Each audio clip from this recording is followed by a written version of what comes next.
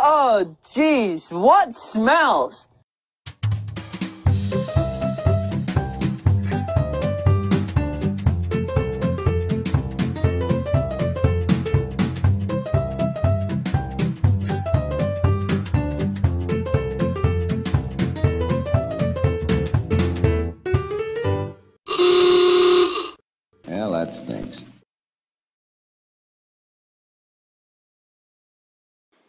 Everybody, and welcome to the very first show of Blu Cheese Stinky Movies on Blu ray. I'm your old pal, the Moo Cow, and I am joined with. Just Jenn. And. Dylan. How's it going, everybody? So, this is the show where we pair cheesy movies with cheesy snacks. And on this particular episode, we will be pairing Killer Klowns from Outer Space, which is a classic, classic cheesy film. And to pair that with our snack, we have cheesy cheese and crackers. Mm-hmm. Can't get oh. more classic than that.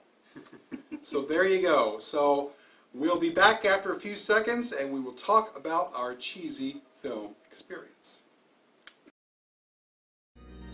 It was a night like any other night. Then something happened.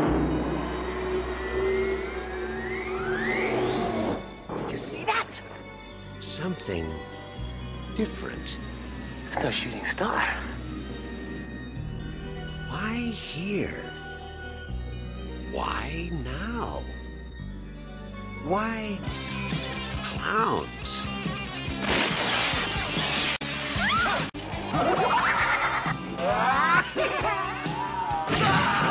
They've been knocking him dead all over the universe. What are you gonna do? Knock my block off?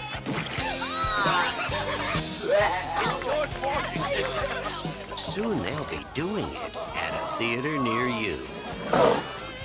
Killer Klowns from outer space. Uh-huh. Pizza.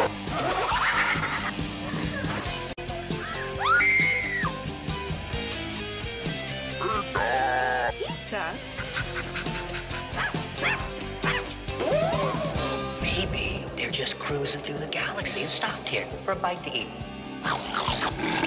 You don't need a police pal, you need a psychiatrist.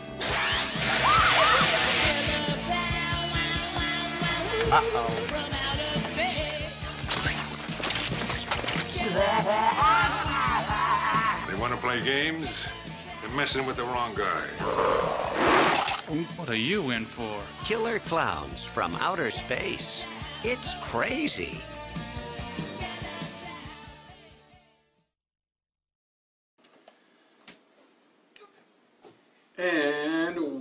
Welcome back. Uh, so we just watched Killer Klowns from Outer Space. We just had our cheesy snack. We got our monkey. And um, now it's time to talk about the film. And I'm going to turn to my co-hosts here. Miss Jenn, Yeah. what about you? What did you think of Killer Klowns? That was so dumb. That was so dumb. I want to come a little bit more, you too, Oh. just in case. Um, Right. So you're saying it was a cheesy film? Sure. Well, what what It was, it was quite, quite dumb. what parts do you think that were cheesy and or dumb? The whole thing. um, it, I, I don't know where to start. Okay. That was that was very interesting. It was very bright and very colorful and and yes, Garish almost. yeah. Yeah. Okay. And what about you, Dylan? See, I disagree. I love the movie. Uh, right. I, I personally think it's uh, an interesting combination of you know some comedic realms mixed in with you know the horror genre. Um, there are some tense moments as you know you're like going when they're going through the uh, circus tent slash spaceship.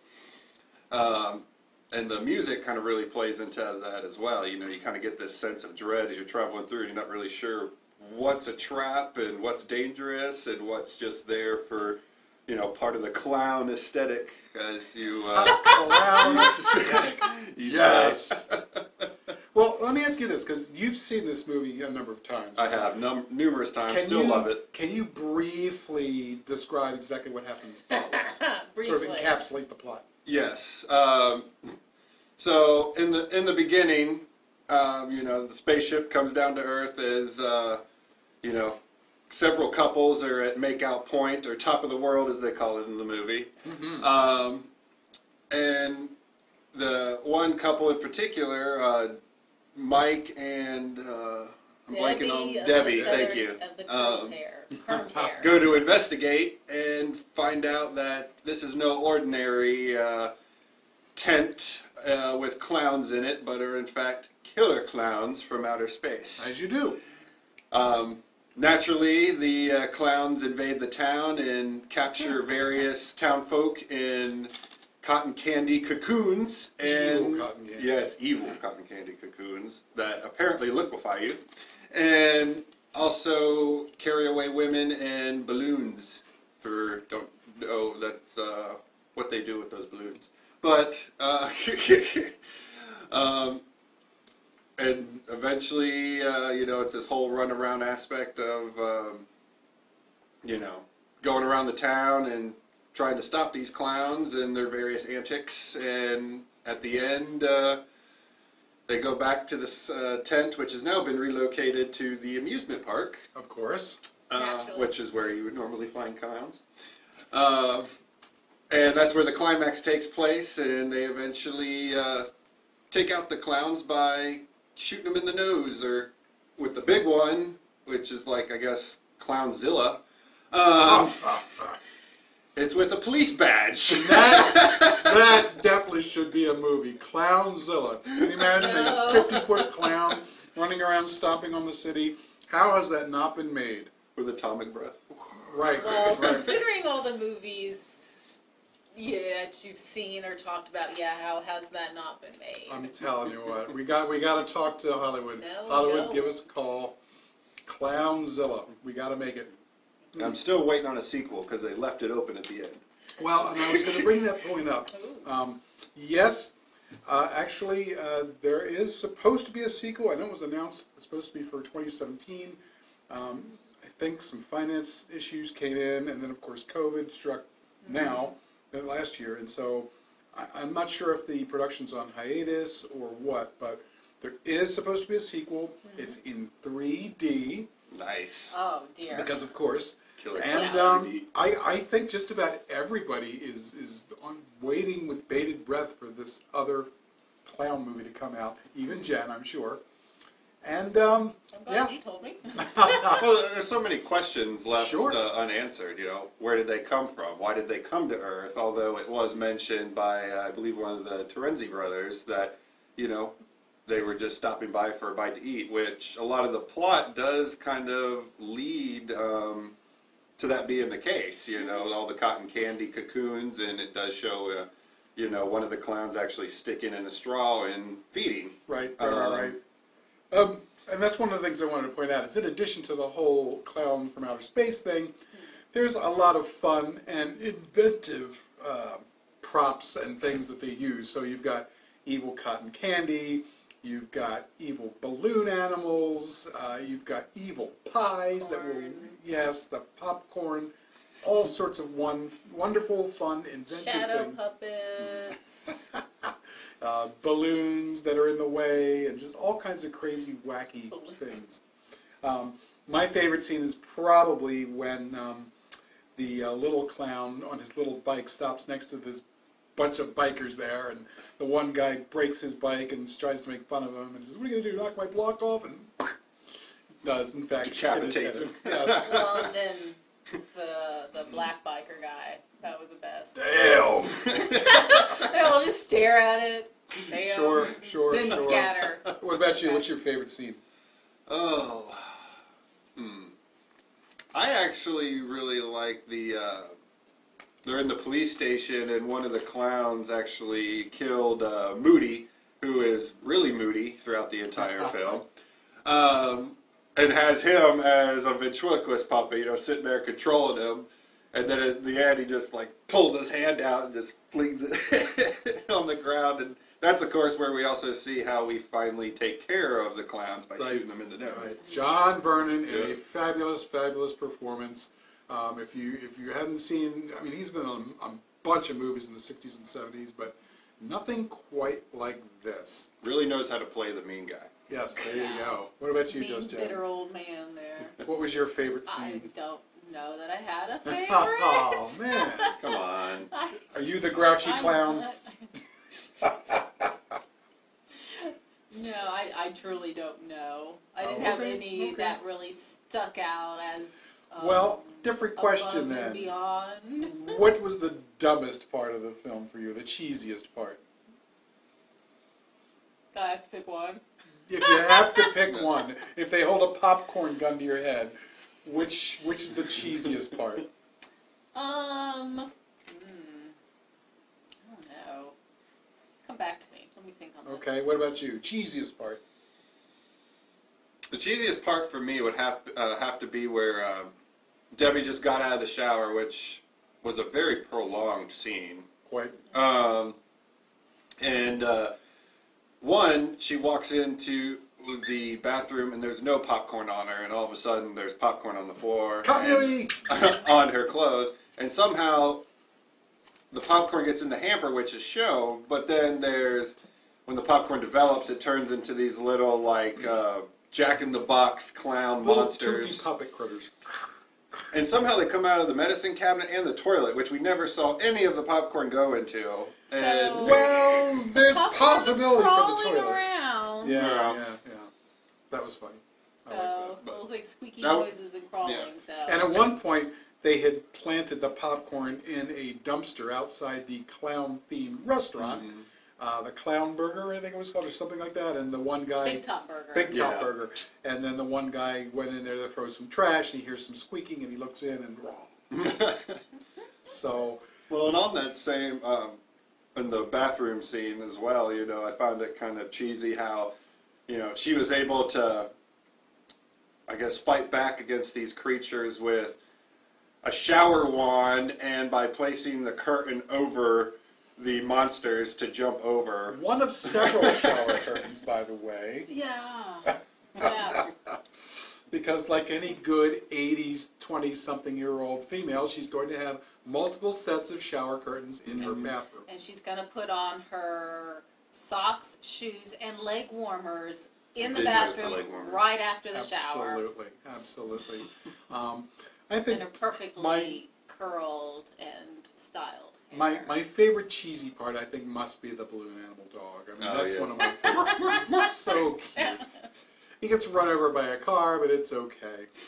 um, and then, of course, we have the uh, Indiana Jones-esque finale where our two bumbling idiot friends who are only interested in boobs, uh, their ice cream truck blows up, but they somehow manage to escape that explosion and the spaceship explosion uh, in the clown car. And then they come and say, "Oh, we hid in the freezer." Yeah. So freezer's apparently explosion proof, Yeah. just like refrigerators can Yeah. withstand an atomic bomb. So Yep. that's that's pretty cheeseworthy there. But overall, Well, I will say I didn't like cheeseworthy cheese. Mm, try that again. Cheesy, and actually, I didn't really care for this in the beginning. The old man playing that super Oh, yeah. stereotype hick guy. right? I found. Well, I mean, all the characters were goofy and annoying. Well, goofy. I found him highly annoying. I was not upset when he was killed. Just that that extreme hick character. Just But he loves his Pooh Bear. yeah. A dog named Pooh Bear was the first death of the movie. I know. Very sad. Oh dear. Yeah. So if you're an animal lover, gotta look out for that.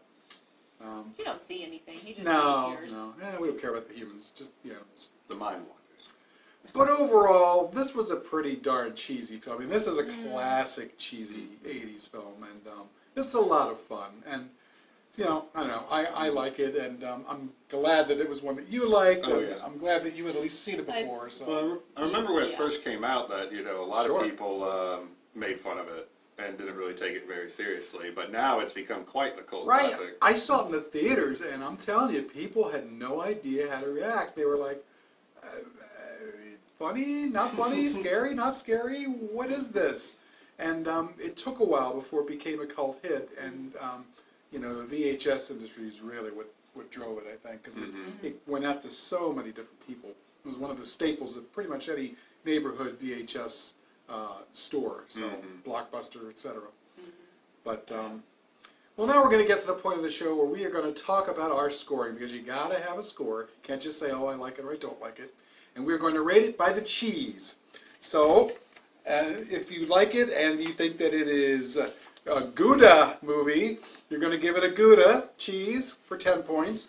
If you think it's kind of meh and it's just cheddar, then you're going to give it 5 points. On the other hand, if you think that it's a stinky blue cheese, then you're going to give it stinky blue for negative 10 points. So, I'm going to let everybody shuffle their cards so nobody can tell.